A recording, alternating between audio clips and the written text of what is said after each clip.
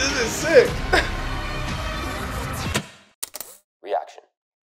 What's up, everybody? Welcome back to Lights Camera Reaction, aka LCR. It's Milo Manheim here. And we're about to have some fun. LCR is all about positivity. We're about spreading love, kind of finding undiscovered talent, pairing it with cool people, lifting everybody up. We make the world a better place. Uh, That's what we're about here. Um, but today, I'm actually really excited about this video. We're about to watch Milo Manheim and Witney Carson dance a contemporary dance on the show Dancing with the Stars. Now, newsflash, I'm Milo Manheim. Surprise, surprise. So, I wanted to kind of like go back and react to this video and maybe like see things maybe I hadn't noticed, but also give you some insight that maybe you wouldn't be able to get from just watching the show.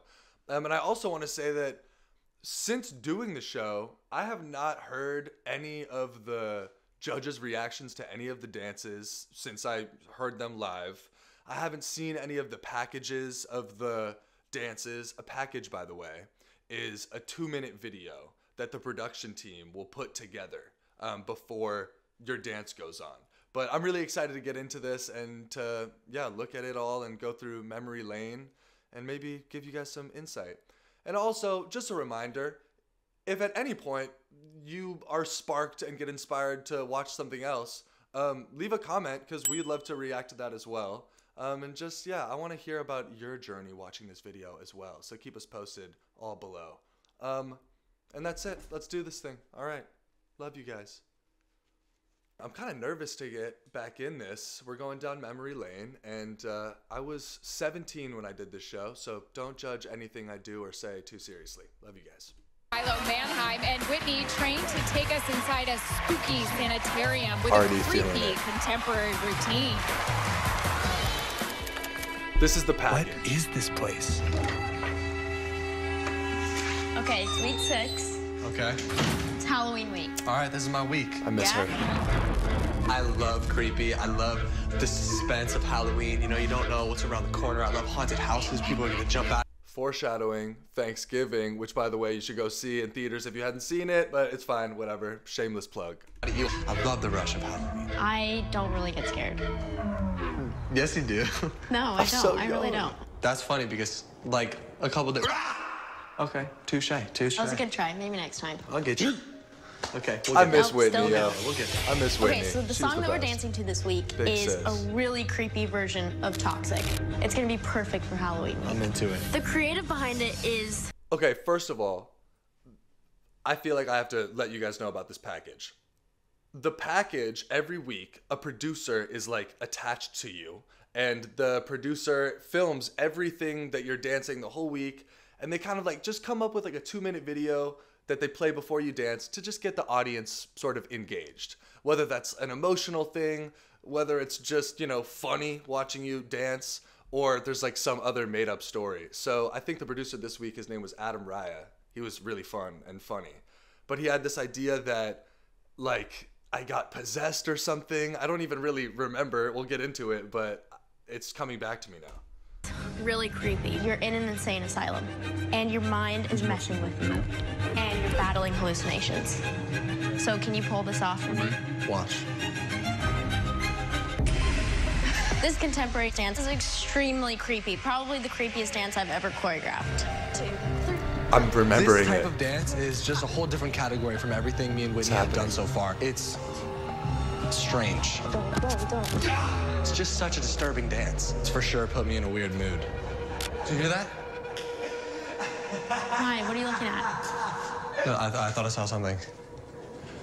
Creepy. Oh, I just okay. missed I think the dance is starting to mess with his Cute. head. One, two, three, four. Stop. Feel like I'm starting to see things. I'm starting to hear weird things. Let's. All right, I'm not even saying anything because I'm just watching this and remembering it all. But we just, I just remember this day so vividly. We went to this old warehouse just to like get these shots and like do these things. But it all comes together. Hi, that was perfect. It's not good. We'll get to the dance, you guys. Sorry, What you need the going on with backstory. it? It's really important. starting to creep me out.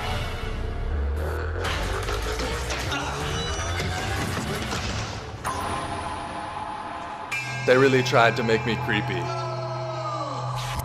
The least intimidating, squeaky 17 year old boy ever. I love this dance. We're getting into it. Contemporary. Baby, can't you see I'm calling? A guy like you should wear warning. It's dangerous. I'm falling. I want to let this run, but let me just say a couple things before we start. Witney Carson is not only an incredible dancer, but she's an incredible choreographer and she's an incredible creative and she's an incredible teacher. Uh, it's one thing to just be a good dancer, it's another thing to create good dances, it's another thing to be short, teaching a very tall 17 year old boy those dances that you created, and then have a whole story on top of it and create this really cool, you know, imagery as well. Witney is obviously an incredible choreographer and dancer, but she doesn't get enough credit creatively. And I wanted to say that. And a contemporary dance, there's really not very many rules. Uh, in all the other types of ballroom dances, you know, you have to hold your frame, and there's, you know, depending on what dance it is, different guidelines you have to follow, if you will. But with a contemporary, um, there's a lot, there are rules, but there's a lot more room, I guess, for interpretation. It's very like lyrical and freestyly, I guess. Maybe there are no rules. I don't know. Who knows? There's no escape. I can't wait. So sharp. To need a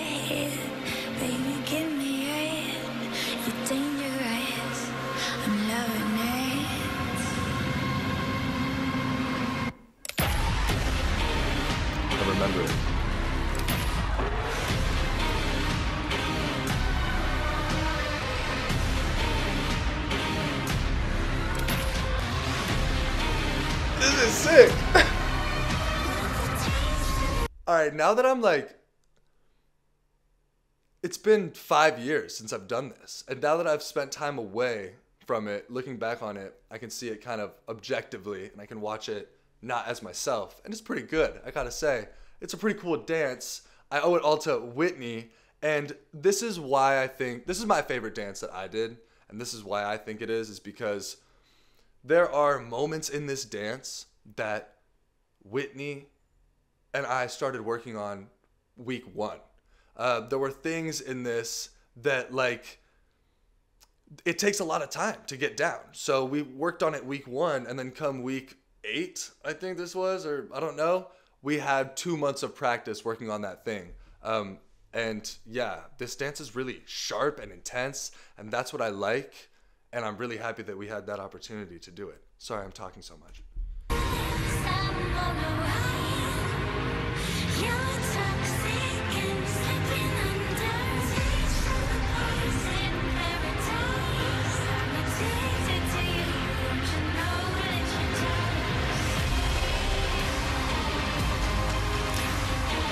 One hand? That's hard.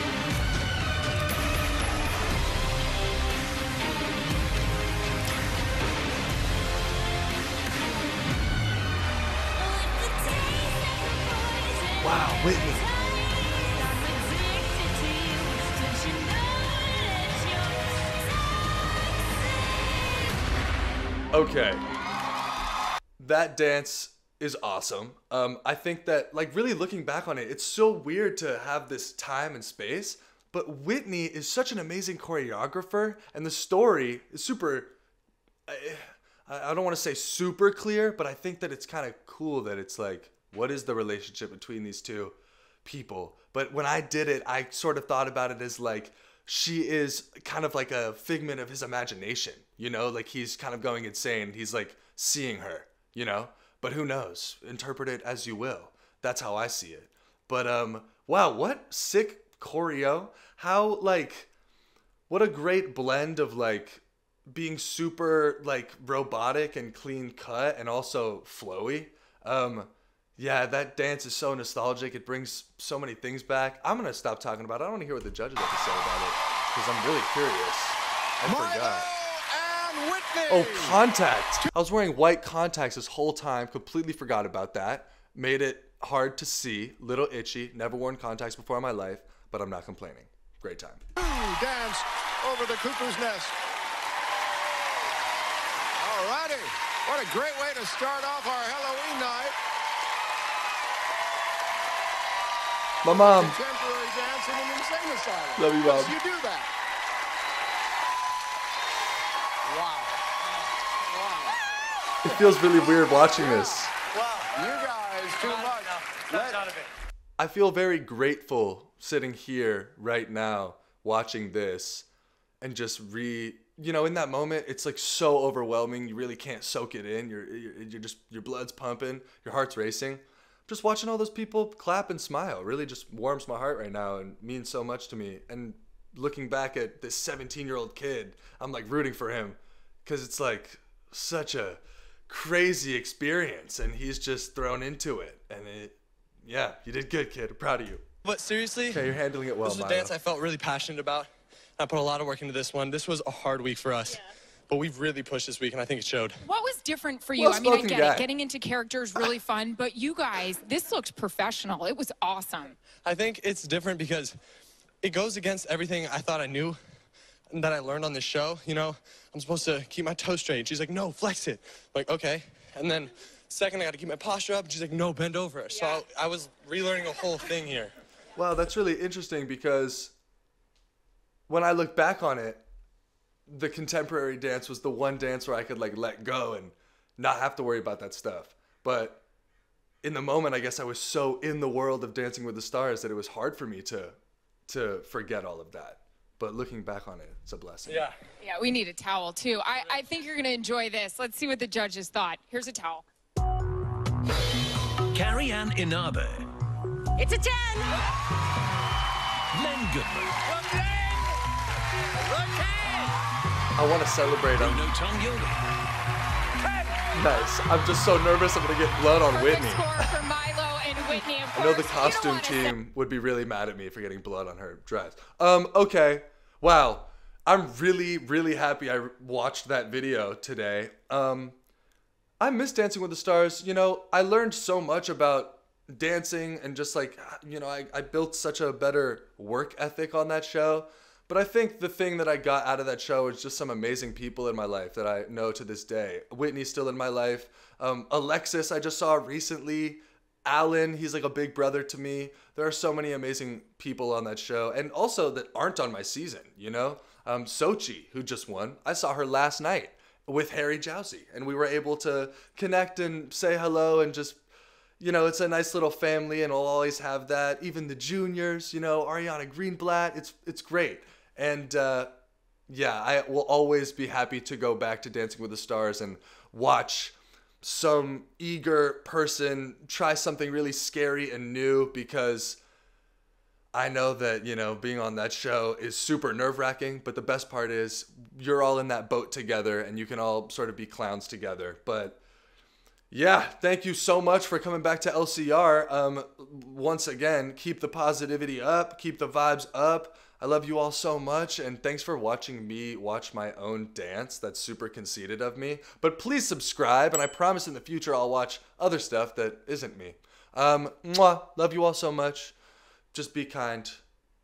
Peace.